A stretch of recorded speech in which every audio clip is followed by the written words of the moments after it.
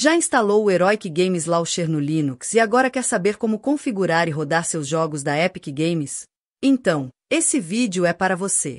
Hoje, vamos te ensinar como logar na sua conta da Epic Games no Heroic, configurar ProtonGE e WineGE e testar jogos de Windows no seu desktop Linux. Tudo isso de forma simples e prática. Antes de continuar, já fizemos um vídeo mostrando o passo a passo completo de instalação do Heroic seguindo as recomendações do site oficial do desenvolvedor. Você pode conferir esse vídeo na playlist que está no primeiro comentário fixado deste vídeo. E claro, já se inscreve no canal para fortalecer a comunidade Linux e trazer mais conteúdos como este. Agora, bora configurar tudo.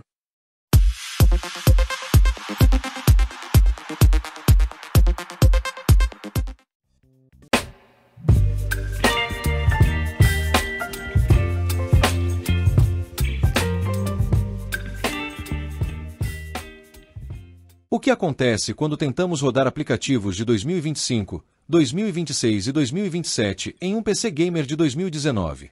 Aqui no canal, estamos testando os limites da tecnologia para descobrir até onde esse hardware aguenta. Eu vou aqui em logar, você pode trocar a linguagem, caso você queira, eu vou manter do jeito que está. E eu quero logar com a Epic Games, que no caso aqui é o, é o launcher que eu vou utilizar. Vou deixar bem claro isso daqui e registrado. Eu já quase perdi a minha conta da Amazon tentando fazer login nesse launcher, entendeu? Eu tenho, é, na verdade, a conta da Amazon, nossa, ela tem muita coisa importante ali de trabalho e tal. Então eu não logo mais não logo mais, entendeu? Uma hora ali qualquer, eu vou fazer algum teste, criar uma conta só para isso. Mas com a minha conta pessoal, eu não logo mais porque eu tive problema já de a, a Amazon a, achar que eu estou que eu estou sendo hackeado e depois me travar para poder entrar na minha própria conta. Isso é bem complicado, eles são muito chatos. É, a gente vai ver aqui nessa série aqui se algum momento eu consigo fazer esse login usando esse launcher em específico. Eu vou logar aqui com o Epic Games, né?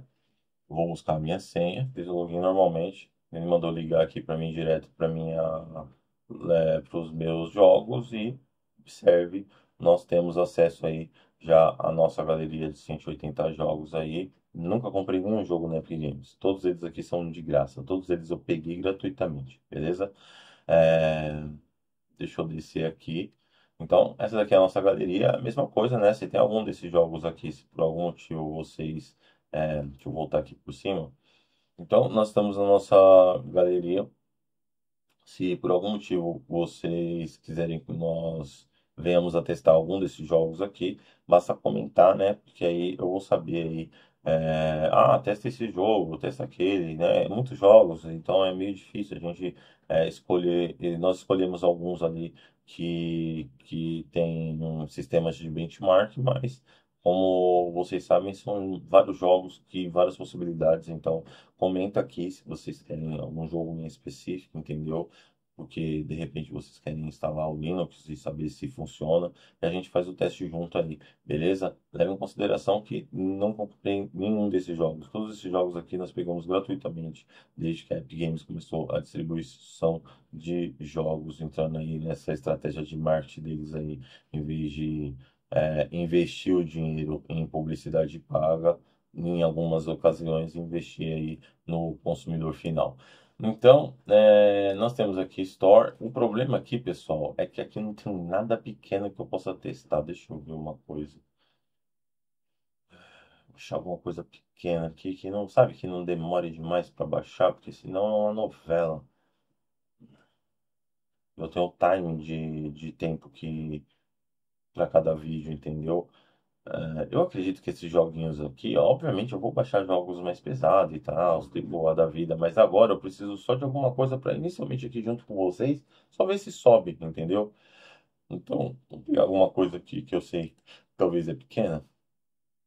Esse aqui, ó. Só que antes de eu...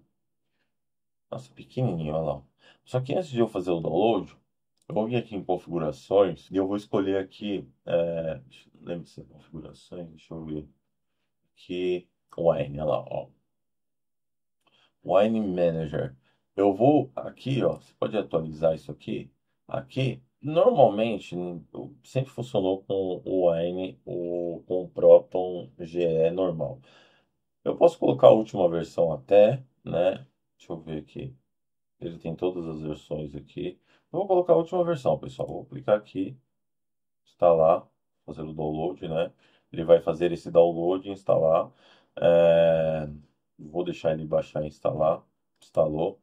E aqui eu vou colocar a última versão do Proton. Né? A última versão. Levando em consideração que na Steam eu prefiro trabalhar com o Proton. É... Não, peraí. Eu vou instalar aqui a última versão também do Proton. Então eu estou com o Proton GE aqui e o ANGE, né? É... E aí você pode escolher ali qual que você quer usar dependendo do jogo que você vai rodar a aplicação e etc. Deixa ele acabar aqui. Eu vou fazer isso antes de baixar o joguinho lá, né? E agora, basicamente, eu vou fazer só isso aí que não tem muito segredo. Eu vou vir aqui nos jogos e vou baixar o jogo lá que é bem pequenininho para a gente poder já ver ele subindo agora aqui se der certo, né? Vou mandar ele fazer uma instalação. É, vou instalar aqui mesmo, não vou mudar nada, vou só mandar uma install, entendeu? É, esse processo aqui vai depender da sua internet, mas é, como eu já disse, é um jogo muito pequeno, então ele vai ser bem rapidinho. Olha lá, já finalizou, né? E agora eu já posso dar play, entendeu? E ver se funciona. Ele vai configurar ali o, o Wine, assim como fez naquele programa que nós baixamos o Cinebank R15. E, obviamente, é, se tudo der certo, ele vai subir e vai rodar esse joguinho aqui. Se não der certo, aí vocês já sabem qual é o processo. A gente vai ter que caçar, ver o problema que está acontecendo para ver se, se é possível resolver, se tem algum problema de compatibilidade ou algo do tipo. Quis nem nada, mas vocês podem ver que simplesmente subiu, né? Sem não fazer nenhum tipo. Eu nunca baixei esse jogo na minha vida. Deixa eu ver uma coisa aqui. Ah,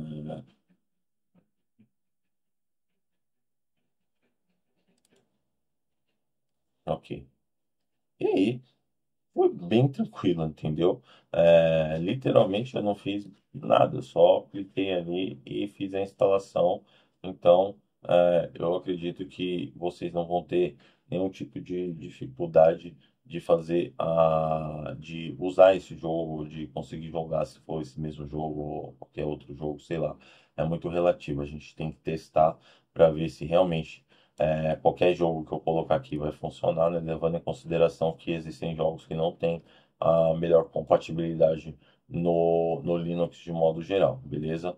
Vou fechar aqui, resolver. Você chegou aqui agora e não está entendendo nada, basicamente é o seguinte, nós estamos utilizando o Pop OS, configurando o Pop OS para jogos, para edição de vídeo, para poder substituir o Windows 10 que vai ser abandonado pela Microsoft. Basicamente, eu estou configurando o sistema operacional sem muita questão de linha de comando. Eu estou tentando fazer tudo o que é possível sem precisar subir um terminal. Obviamente tem coisas que são impossíveis, mas fazendo o mínimo possível, porque eu quero que esse conteúdo que eu estou gravando aqui eu possa compartilhar com os meus amigos e com pessoas que eu conheço para poder indicar essa distribuição Linux como uma opção de uma alternativa viável ao Windows 10. Basicamente, a gente vai fazer todos os testes, fazer tudo que eu faria no Windows, colocando aqui nesse processo para ver se realmente é possível substituir a última versão do Windows 10 que vai ser mandada pela Microsoft por uma versão do Linux para desktop. Se você quer ver a série completa, você pode acessar esse vídeo aqui e lá você vai ver a playlist, né? E você vai ver tudo que nós estamos fazendo. E espero que vocês tenham gostado do vídeo. Até o próximo vídeo e falou!